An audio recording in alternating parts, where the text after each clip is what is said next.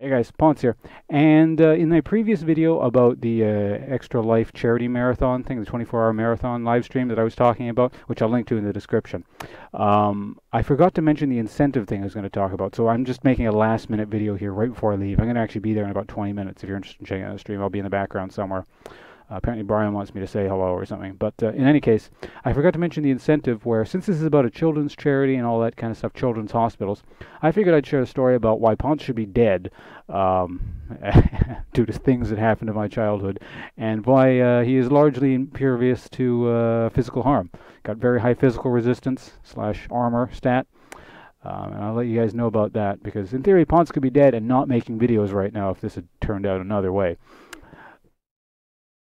Uh, so basically, if we can, uh, as a as a channel here, the youtube.com slash between my own personal donations and from you guys, if we can raise 300 extra dollars between, you know, there's 90,000 subscribers here, plus me who's already donating some money, that shouldn't be too hard, right? I'll make an extra special video just uh, going into very minute detail about, uh, yeah, again, why Pawnce probably should be dead.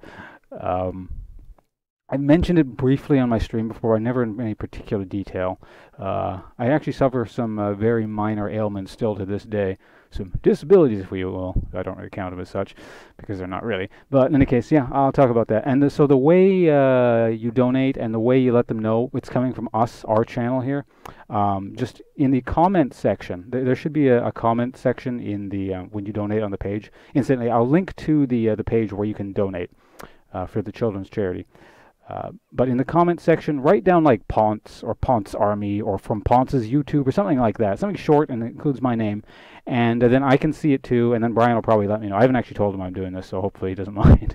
but if we can uh, make $300 total from donations with the, the title or the uh, little note Pawnce in it somewhere, uh, yeah, I'll make the extra video. Just a little donation incentive, you know. Don't want to force anyone to do anything, but I'm just saying, you know, for those, you know, if people are generous and kind enough to, you know, support our little thing here, um, I'll I'll try and do something a little bit extra for you guys as well.